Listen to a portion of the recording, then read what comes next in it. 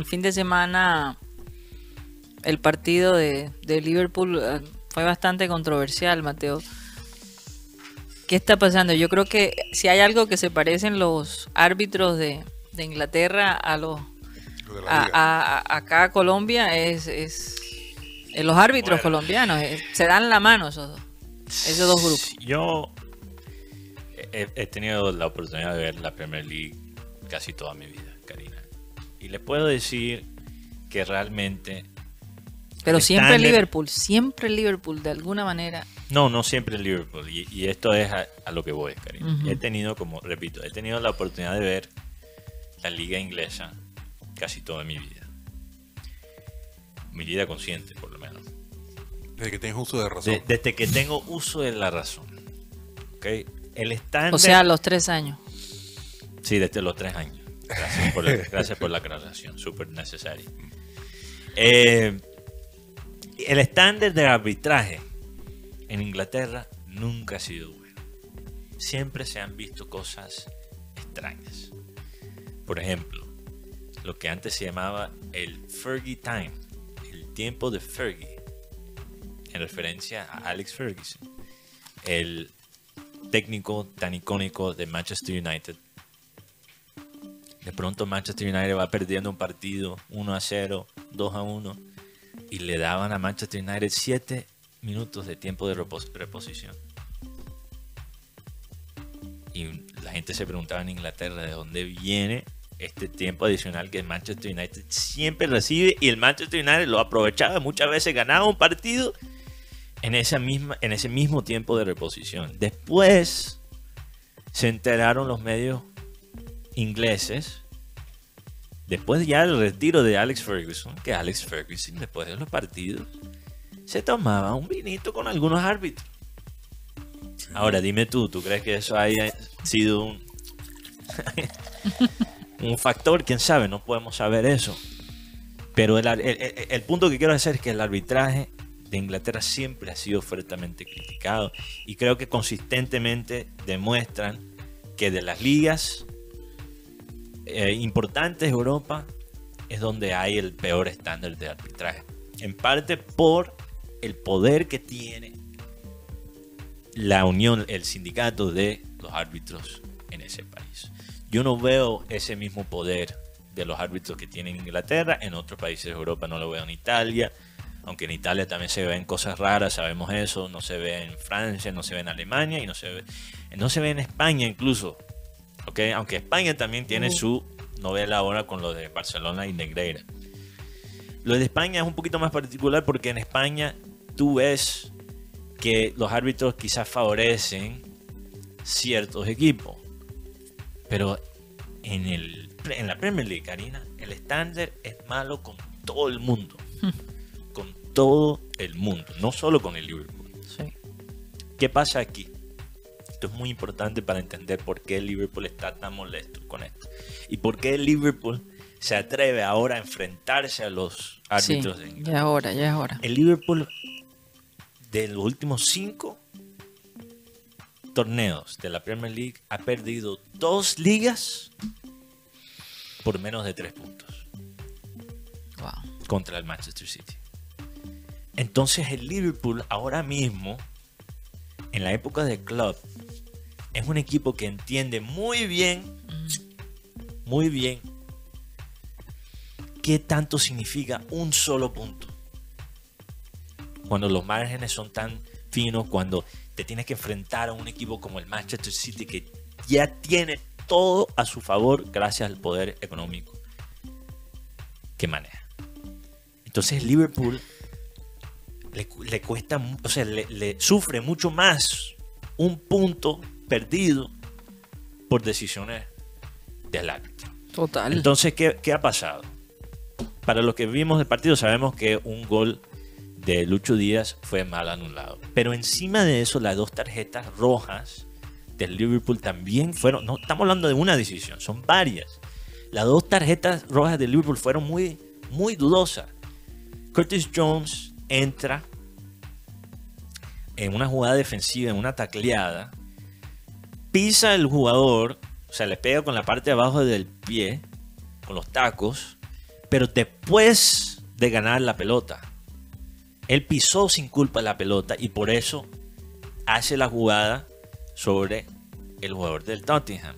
¿Dónde erró el árbitro? Miró la jugada de una forma estática, solo vio la foto de Curtis Jones con los tacos arriba hacia el jugador del Tottenham y usó eso como una conclusión para sacar una tarjeta roja. De acuerdo a las reglas, eso es mal hecho, porque eh, la cámara lenta y las imágenes solo son para cosas como fuera del lugar, no, para determinar la gravedad de una falta, Wow. punto de contacto. un punto de contacto. Entonces el árbitro falla allí. Diego Jota recibe una segunda tarjeta amarilla que sí fue tarjeta amarilla que provocó la expulsión, pero la primera tarjeta amarilla de Jota fue una falta fantasma donde el jugador del, del Tottenham se atropella a él mismo. Entonces eso provoca eventualmente la tarjeta roja de Jota. Y encima tenemos el gol mal anulado de Lucho Díaz por básicamente una falta de comunicación entre el VAR y, eh, y el árbitro que estaba en la cancha. Entonces, ¿qué pasa aquí, Karina? Y oyentes y compañeros. Sí, podemos hablar de la competencia de estos árbitros. Y hay muchas personas que dicen que simplemente es un tema de personas que no están preparados para usar estas herramientas y que el estándar es. Y yo estoy de acuerdo con eso. Pero esto implica mucho más que eso, porque ya cuando tienes tantos partidos afectados por malas decisiones, yo creo que tenemos que por lo menos pensar Hay que, hay que, que hay otra cosa aquí. sí, sí, sí.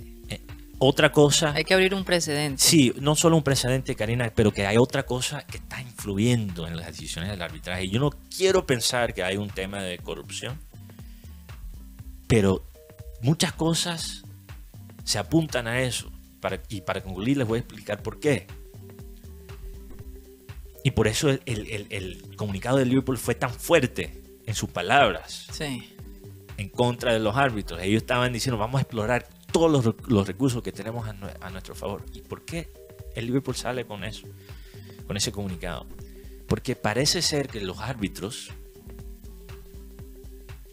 que fueron árbitros en el partido contra el Liverpool Tottenham, varios de ellos estaban en los Emiratos Árabes antes de este partido. Adivinen de dónde son los dueños de el Manchester City. De los Emiratos Árabes. Corrígeme si estoy mal. Es que tengo la duda si es nada más Arabia Saudita.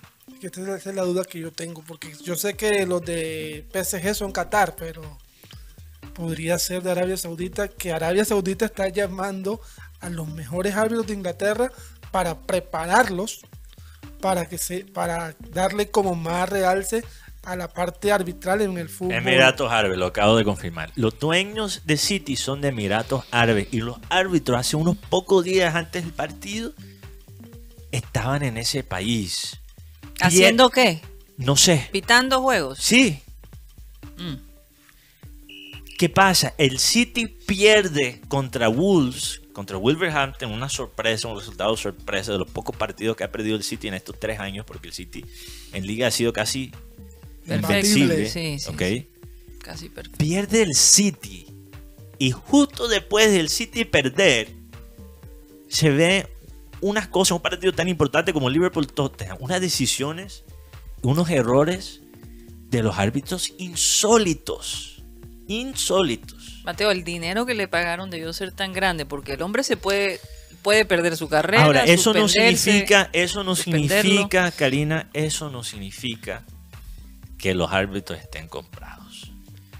Pero no culpo la gente y los clubes por hacernos, por hacer por lo menos la pregunta. Y vale la pena Mm. explorar este tema de la corrupción en la Premier League. Y yo pienso que ese gol de Lucho Díaz va a desencadenar una cosa. Si es verdad que hay corrupción. Lucho Díaz siendo el principal protagonista, como si ya Sí, no tuviera como, como el que metió el gol. Pero ¿Qué cosa? Pero y él, este, este momento y él es no lo busca. Estos Sí. momentos y importantes. quedará en la historia. No, solo en el fútbol inglés, Karina, pero en el fútbol global. E- Mm. Este gol de Lucho Díaz puede desencadenar una corrupción que hasta ahora estaba completamente tapada. Esto puede destapar la olla.